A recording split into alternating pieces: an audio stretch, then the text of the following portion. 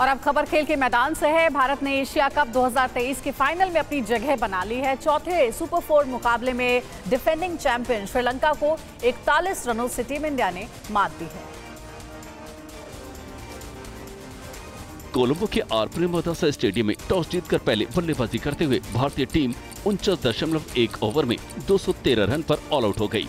जवाब में श्रीलंकाई टीम इकतालीस दशमलव तीन ओवर में एक सौ बहत्तर रन ही बना सकी। श्रीलंका को लगातार तेरह वनडे जीतने के बाद ये हार मिली। सबसे ज़्यादा लगातार वनडे जीत के मामले में टीम दूसरे नंबर पर रही। 21 जीत के साथ ऑस्ट्रेलिया पहले पर है। एशिया कप का फाइनल मुकाबला 17 सितंबर को होना है। हालाँकि इससे पहले टीम इंडिया को अभी बांग्लादेश से एक मुकाबला खेलना है।